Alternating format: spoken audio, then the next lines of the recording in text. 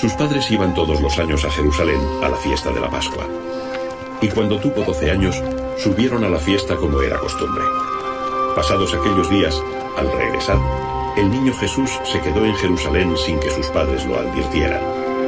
Pensando que iba en la caravana, anduvieron una jornada buscándole entre sus parientes y conocidos, pero al no encontrarlo, regresaron a Jerusalén en su busca.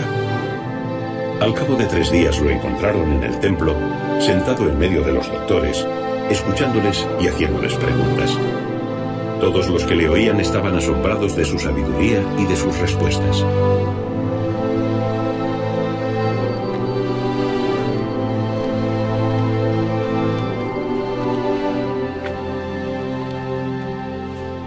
Él hará volver el corazón de los padres a los hijos y el de los hijos a los padres. No sea que yo hiera la tierra con maldición.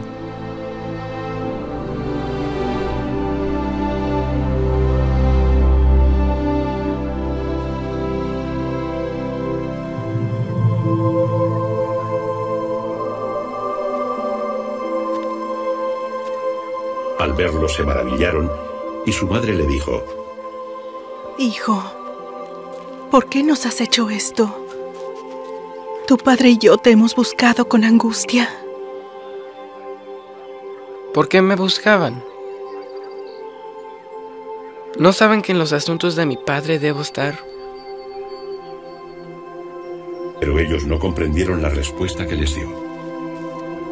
Bajó con ellos y vino a Nazaret y les estaba sujeto. Su madre conservaba todas estas cosas en su corazón.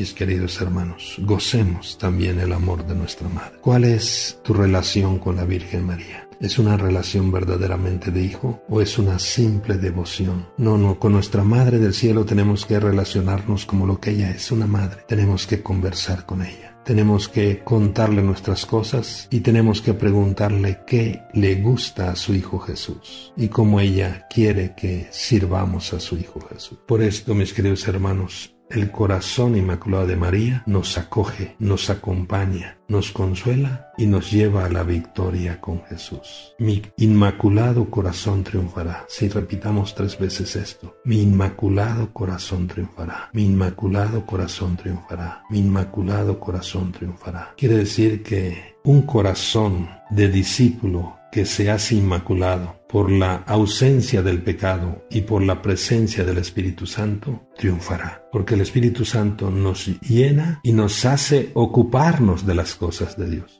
Jesús se fue al templo, allí lo encontraron. Jesús no se perdió, sino fue al mejor lugar. Ahora nosotros podíamos hacernos unas preguntas. Cuando nosotros nos perdemos, ¿a dónde vamos? ¿Realmente vamos al templo? La pregunta todavía, ¿nos ocupamos de las cosas de Dios como sus discípulos, como sus hijos? ¿No sabían que debo ocuparme en las cosas de mi Padre? Yo como obispo, ¿de qué cosas me ocupo? ¿Dónde me pierdo? Ojalá yo me pierda ante el sagrario. ¿Dónde te pierdes tú? ¿De qué cosas te ocupas? Sin embargo, Jesús manifiesta un gran amor a sus padres. Se vuelve con ellos y siguió sujeto a su autoridad. Pero el corazón inmaculado dice, su madre conservaba en su corazón todas aquellas cosas. Esto tenemos que aprender de la Virgen María. Lo que no entendemos en el momento, lo que nos cuesta trabajo, inclusive a veces hasta lo que nos da tristeza nos lastima, hay que saber guardarlo en el corazón para que el Señor nos los vaya explicando poco a poco y vayamos comprendiendo y saboreando esas cosas. Nuestro corazón tiene que ser un cofre de bendiciones.